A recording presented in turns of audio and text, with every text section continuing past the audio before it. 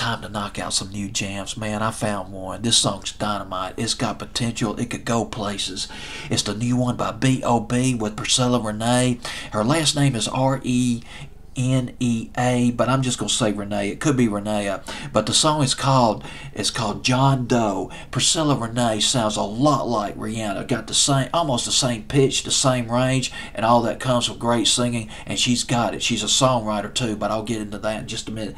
B.O.B. from Georgia. His real name Bobby Ray Simmons. In 2006, he was brought to brought to the attention of a producer.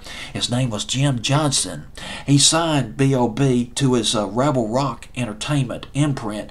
Then a year later, it was sort of a joint thing. B.O.B. and Jim Johnson together, they signed they signed a deal. It was a double deal with Atlantic with Atlantic Records and with T.I.'s label.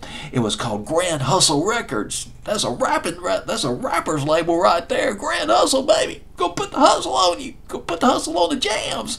T.I. rapper back in it. Well, he's still a rapper. Grand Hustle Records, first hit record for B.O.B. was nothing. Well, first big hit, Nothing on You. It was around the winter and spring of 2010. It went to number one in America. It went to number one in England. And this guy, this guy's been rolling in awards. Been nominated for American Music Awards, nominated for BET Awards, nominated for MTV Awards, Grammy nominated. He got a Grammy nomination nomination on uh, Nothing on You for Record of the Year.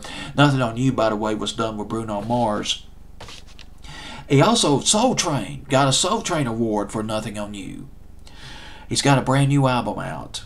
It's called Underground Luxury. It's his latest album, and on this record is the song that I want I want you to hear. It's called John Doe. Oh, it's it's it's got it. It's right there. Priscilla Renee nails it. Gotta talk about Priscilla Renee, songwriter. She co-wrote the song Timber with Pitbull and uh, Kesha.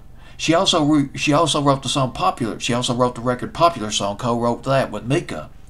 It was done by Mika and a girl did it too. I think it was Carly Rae Jepsen who did that song with him, popular song. And he also she also co-wrote the song VSOP by K Michelle, which was an R&B hit a few months back. But Priscilla Renee had a fantastic song. If you can ever get a chance to listen to it, it was off her first CD. It's called uh, Dollhouse, her first song. Didn't do anything. It was back around the spring of 2009. Really liked that record. Nice video, too. Well, here it is. Brand new record brought to you by Mr. DJ. Gotta jump right into it right now. This is B.O.B. and Priscilla with John Doe.